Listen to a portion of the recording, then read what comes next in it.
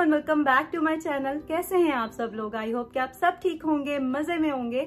हम भी बिल्कुल ठीक हैं और अभी मैं अपने सारे काम शाम खत्म करके तो फ्रेश होके बैठी थी। और यही टाइम होता है, या तो मैं अर्ली मॉर्निंग फ्रेश होती हूँ, या फिर इस टाइम जब अपने सारे काम खत्म कर लेती हूँ तो फिर मैं अच्छे उलिये में आ जाती हूँ। तो मैंने सोचा कि ब्लॉग भी अपना बना लेती हूँ, ये काम भी साथ साथ हो जाए। तो अभी मैं आपको दिखाती हूँ कि मैंने लंच में क्या बनाया और आज आपकी भी फेवरेट चीज़ बनी है जो आप कब से कह रहे थे कि हमें इसकी रेसिपी दे दें। तो रेसिपी मैंने पहले रिकॉर्ड कर ली थी और उसके बाद मैंने सोचा कि कपड़े चेंज कर लेती हूँ। आज मैंने जो ड्रेस पहना है वो मैंने जैसी पहने से लिया था। अभी आपको फुल ड्रेस पे दिखाती हूँ और स्कार्फ मैंने शीन से ऑर्डर किया था जो आपको दिखाया था। मैंने अपने लास्ट ब्लॉग में आई थिंक तो ये मैंने वही पहना है। ये देखें जी, ये वाला ड्रेस पहना है मैंने। कैमरा से दूर नहीं जा सकता, वरना मैं कंप्लीट लुक दिखाती। नीचे मैंने ब्लैक टाइट्स पहनी है और बहुत ही कंफर्टेबल है, ये मैंने घर में पहनने के लिए लिया था।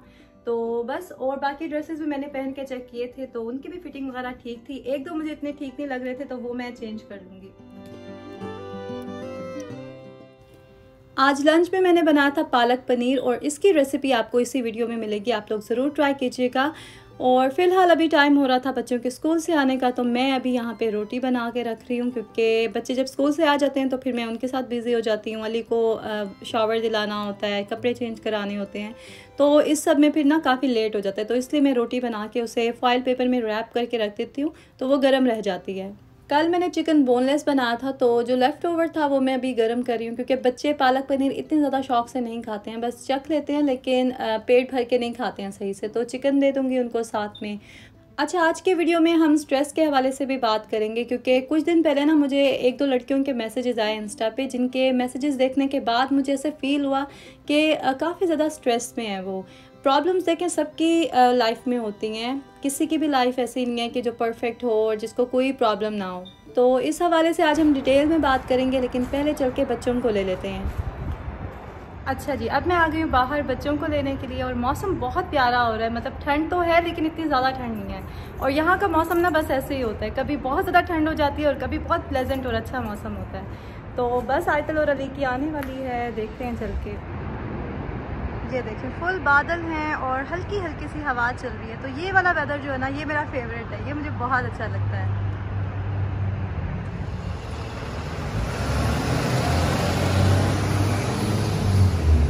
अभी अमान आएगा ना तो फिर उसको बताऊँगी कि आज का मैच भी पाकिस्तान जीत गया अफ़गानिस्तान से। तो बहुत खुश होगा। उसको शौक बहुत है मैच देखने का, लेकिन मैच की टाइमिंग्स ऐसी हैं कि वो स्कूल में होता है। तो बस घर आके वो उसकी जो हाईलाइट्स होती हैं, वो देख लेता है। अब संडे को जो मैच आ रहा है ना, वो देखेगा अरमान।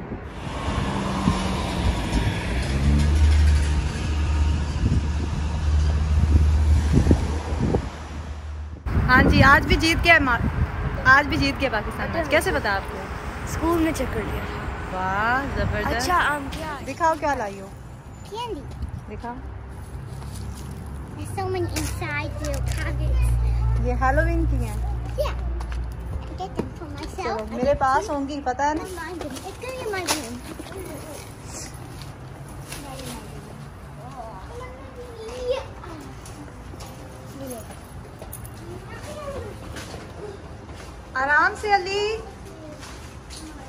Careful.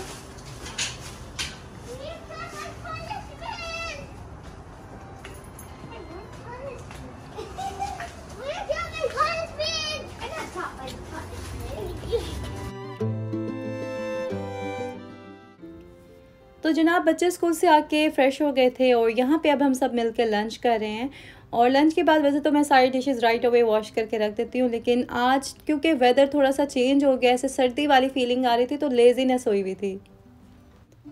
तो बस मैं भी फिर बच्चों के साथ आके बैठ गई थी और इस टाइम वैसे मैं बच्चों से ना पूछती हूँ स्कूल के बारे में कि उन्होंने स्कूल में क्या किया उनका दिन कैसे गुजरा उन्होंने क्या खाया किससे बात की? तो वो भी एक एक चीज़ डिटेल में बताते हैं फिर। आज आई तो स्कूल से ये सब लेके आई थी तो अभी मैं आपको दिखाती हूँ कि इसमें क्या है। ये सारे मेरे फ्रेंड ने दिया आपके फ्रेंड्स ने दिया कौन से फ्रेंड्स नाम लिखा हुआ है। हाँ तो आप बताओ ना अपने फ्रेंड्स के नाम। ये मैंने अपने आप को दिया है। अच्छा ये आपने अपने आप को दिया। ये ये मैं मैं आपको दोनों दिए हैं अच्छा अपने आप को दो दिए आपने? या अली के लिए अली के लिए दी। और ये मैं के केक केक। ने दिया। ये अमीलिया ने दिया। अच्छा। तो ये साल जवाब बार दिया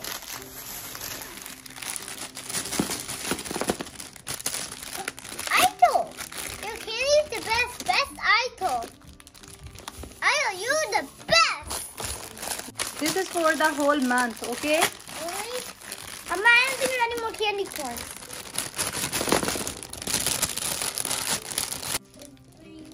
चलो अब इसमें से जेलीज और इस तरह की जो हलाल चीज़ें नहीं है ना वो साइड पे कर दो जो उसको दे दूँ हाँ जी एक पाउच में डाल दो ना जो भी जेलीज और ऐसी चीज़ें ये हैं। ट्रा- ये ट्रिक्स में भी हलाल हो सकती है यहाँ पे आजकल हेलोविन चल रहा है तो स्कूल्स में और हर जगह बस उसी की पार्टीज़ हो रही हैं। तो ये गुडी बैग्स भी बच्चों ने एक दूसरे को दिए थे। पहले उन्होंने ऑर्डर किया था और पे किया था उसके लिए और आज फिर वो सारे जो है ना उन्होंने एक दूसरे को दिए थे। तो मेरे सर में ना सुबह से पेन हो रही थी और जब भी मुझे कभी हेडेक होता है तो मैं क्या करती हूँ कि चाय बना के पी लेती हूँ और उसी से ही मुझे आराम आ जाता है। चाय मैं जब भी बनाती हूँ अपने लिए तो एवरीडे की ही बनाती हूँ और मुझे पसंद बहुत है, लेकिन मैं डेली नहीं लेती हूँ क्योंकि मुझे ऐसा लगता है कि अगर मैं डेली लूँगी तो मुझे एडिक्शन हो जाएगी और ये कोई अच्छी हैबिट तो है नहीं तो इसलिए फिर मैं अवॉइड ही करती हूँ। बस कभी जब हेडेक हो रहा हो या फिर दिल कर रहा हो चाय पीने का तो मैं बना लेती हूँ और चाय के साथ मुझे केक रस्क बहुत अच्छे लगते हैं। मुझे वैसे टी पार्टी भी बहुत अच्छी लगती है तो कभी सर्दियों में ना मेरा दिल करता है तो मैं काफ़ी सारी चीज़ें बना के और प्रॉपर जैसे टी पार्टी होती है, वो भी इंजॉय करते हैं हम लोग।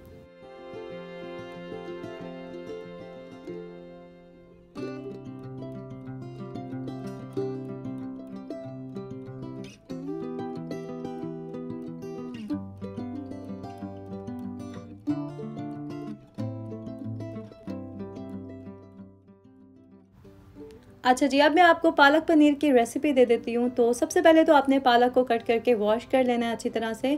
यहाँ पे इतने बड़े साइज़ की पालक नहीं मिलती तो इसलिए मैं उसको चॉप नहीं करती हूँ। मैं सिर्फ़ उसके जो टहनियाँ होती हैं ना, उसको कट कर देती हूँ। साथ साथ हम स्ट्रेस के हवाले से भी बात कर लेते हैं। तो देखें स्ट्रेस जो है ना, वो हमारी लाइफ का हिस्सा है। ये हमारी लाइफ से अलग नहीं हो सकता, ये ख़त्म भी नहीं हो सकता। हमें बस इसे डील करना आना चाहिए। पहले ऐसा होता था कि जैसे एज ज़्यादा होती थी इंसान की तो उसे स्ट्रेस फील होता था। लेकिन अभी तो आप छोटे बच्चों को भी देखें ना तो उनको भी उनकी एज के हिसाब से स्ट्रेस होता है। हम लोगों का प्रॉब्लम एक्चुअली ये है कि हम अपने बारे में खुद ही नहीं जानते, हम खुद को एक्सप्लोर नहीं करते, हमें पता नहीं होता कि हमें किस चीज़ से खुशी मिलती है या किस चीज़ से हमें जो है ना अच्छा फील नहीं होता। तो उस वजह से जो है ना हम डील नहीं कर सकते स्ट्रेस को। लेकिन जब इंसान स्ट्रेस मैनेजमेंट सीख लेता ना तो फिर वो अपनी पूरी लाइफ को मैनेज करना सीख लेता है, क्योंकि हमारी पूरी ज़िंदगी जो है वो इसी पे ही डिपेंड करती है। इंसान को जब स्ट्रेस होता है ना तो वो कोई भी काम ठीक से नहीं कर सकता अपनी लाइफ में। अच्छा जी, अब हम आ जाते हैं रेसिपी की तरफ़। तो चीज़ें मैंने सारी प्रिपेयर कर ली हैं। यहाँ पे अब मैं पनीर को भी कट करके क्यूब्स में रख रही हूँ और साथ में मैंने ऑयल जो है गरम कर लिया था तो मैं इसको हल्का सा फ्राई कर लूँगी। और जब आप फ्राई कर रहे हो ना पनीर को तो आपने इसको मुस्तकिल चेंज करती रहनी है इसकी पोजीशन ताकि ये इक्वली जो है ना हर तरफ़ से फ्राई हो। आप चाहें तो घर पे भी बना सकते हैं पनीर, वो भी बहुत सॉफ्ट बनता है, लेकिन मैंने इंडियन मार्केट से लिया था और गोपी ब्रांड का मैंने यूज़ किया आज। यहाँ पे एक बॉल में मैंने पानी लिया था और जो भी फ्राई किया हुआ पनीर है, वो हम इस पानी में डाल के रखेंगे। इससे क्या होगा कि हमारा जो पनीर है, वो बहुत सॉफ्ट रहेगा और जो भी ऑयल है, वो भी निकल जाएगा। पालक को मैंने तीन से चार मिनट के लिए ना थोड़े से पानी में बॉईल कर लिया था और यहाँ पे थोड़ी ठंडी हो गई थी तो मैं इसको हल्का सा मैश कर रही हूँ। तो पालक को आपने बॉईल करके मैश कर लेना है और पनीर जो है वो फ्राई करके पानी में रख देनी है और फिर हम इसका मसाला बनाएँगे। तो मैंने ये एक अनियन लिया था और इसको मैं फाइनली चॉप कर लूँगी। अदरक और लहसुन मैंने पहले से ही कूट के रख दिया था, अभी मैं आपको दिखाऊँगी, आपने पेस्ट यूज़ नहीं करना, उसको बस क्रश करना है आपने। और यहाँ पे मैंने दो चम्मच देसी घी लिया है, उसके अंदर मैं ये ज़ीरा डालूँगी, एक दार चीनी का टुकड़ा डालूँगी और साथ में तीन चार लौंग डाल दूँगी। ये देखें, इस तरह से आपने ना अदरक लहसुन को क्रश करना है, ज़्यादा बारीक नहीं करना। और पहले मसाले डाल के आपने ऑयल में अदरक लहसुन डालना है, और जब वो गोल्डन हो जाएगा ना तो फिर आपने अनियन ऐड कर देने हैं। जब तक अनियन फ्राई हो रहे हैं, हम यहाँ पे टमेटोज़ कट कर लेंगे। मैंने दो नॉर्मल साइज़ के टमेटोज़ लिए थे, उसको पील ऑफ़ करके तो बिल्कुल फाइनली मैंने इसको कट किया है। और ये देखेंगे गोल्डन ब्राउन सा कलर आ गया तो इसके अंदर मैं टमेटोज़ ऐड कर दूँगी और इसको हल्का सा भून लूँगी। फिर इसके अंदर थोड़ा सा मैं पानी ऐड करके तो मज़ीद इसको अच्छे से मसाला बना लूँगी। स्पाइसेस में हम इसमें डालेंगे नमक, हल्दी, लाल मिर्च पाउडर और कुटी हुई लाल मिर्च। ये थोड़ी सी स्पाइसी अच्छी लगती है तो इसलिए मैं कुटी लाल मिर्च थोड़ी सी ज़्यादा डालूँगी इसमें। बाकी आपके अपने टेस्ट पे है, जैसे आपको अच्छा लगे, आप वैसे ही स्पाइसेस इसमें ऐड करें। इसके अलावा इसके अंदर हम सूखा धनिया भी ऐड करेंगे, लेकिन हमने उसका पाउडर ऐड नहीं करना, उसको हमने क्रश करना है और फिर इसके अंदर ऐड करना है। इसके अंदर हम स्पाइसेस ऐड करते जाएँगे और साथ साथ इसको भून लेंगे और लास्ट में ये गरम मसाला पाउडर और काली मिर्च का पाउडर भी थोड़ा सा हम इसमें ऐड कर देंगे। और ये देखें, इसमें मैंने ऑयल बहुत कम ऐड किया था क्योंकि लास्ट में हम इसको तड़का लगाएँगे तो इसलिए फिर मैंने बहुत कम लिया था ऑयल तो मसाला अच्छी तरह से भून लेने के बाद हम इसके अंदर पालक ऐड कर देंगे और इसको मज़ीद हल्का सा भून लेंगे। और पाँच दस मिनट के बाद आपने इसके अंदर ऐड करनी है क्रीम अच्छा आज हमने स्ट्रेस मैनेजमेंट के बारे में बात की लेकिन नेक्स्ट वीडियो में ना मैं आपको टिप्स दूँगी कि कैसे आपने स्ट्रेस को मैनेज करना है, कैसे उसे डील करना है। क्योंकि ये इतना बड़ा टॉपिक है, आज के वीडियो में ये कवर नहीं हो सकता था। और मैं चाह रही थी कि डिटेल में इस पर मैं बात करूँ, क्योंकि अभी आप देखें कि हमारे आसपास इतना स्ट्रेस है, हर बंदा, हर छोटा बच्चा स्ट्रेस में है। और देखा जाए तो स्ट्रेस इट्स कोई बीमारी नहीं है, लेकिन अगर इसे डील करना ना आए तो ये बहुत सारी बीमारियों की वजह बनता है। एक्चुअली जितनी भी बीमारियाँ हैं ना, वो स्ट्रेस की वजह से ही शुरू होती हैं और आगे चल के फिर प्रॉब्लम होती है। तो यहाँ पे मैंने almost three tablespoon milk cream add कर दी थी। उसके दो मिनट के बाद मैं इसके अंदर पनीर ऐड कर दूँगी और इसे दम पे रख दूँगी पाँच मिनट के लिए। अच्छा ये जो रेसिपी मैं आपके साथ शेयर कर रही हूँ ना आज पालक पनीर की, ये मेरी सिग्नेचर रेसिपी है और आई एम श्योर जो भी इसे ट्राई करेगा, उसको बहुत पसंद आएगी, क्योंकि इस रेसिपी के पीछे भी एक पूरी स्टोरी है जो इनशाला इन फ्यूचर मैं आपके साथ कभी शेयर करूँगी। आज वैसे ही जो है ना, वो इतना टाइम नहीं है वीडियो में। अच्छा जी, अब हम लगाने लगे हैं इसको तड़का तो मैंने थोड़ा सा देसी घी गरम किया है पैन में, उसके अंदर ज़ीरा ऐड किया है साबित, और थोड़ी सी क्रश चिली ऐड करके उसके अंदर साबित जो लाल मिर्च होती है गोल वाली, वो ऐड कर देंगे, उसे बहुत प्यारी सी लुक आती है उसकी। थोड़ा सा मैंने बटर ऐड किया था लास्ट में, और ये देखें जी, हमारी पालक पनीर जो है, मज़े की वो रेडी हो गई है, अब आप लोग ये रेसिपी ट्राई करें और फिर मुझे बताएँ कि कैसे बनी। आई होप कि आज का ब्लॉग आपको अच्छा लगा होगा। अगर आपको वीडियो अच्छी लगी हो तो जल्दी से लाइक कर दें और जिन्होंने सब्सक्राइब नहीं किया है, वो आप कर दें। आपसे मिलूँगी मैं बहुत जल्द नेक्स्ट ब्लॉग में। अपना ख्याल रखें। अल्लाह हाफिज।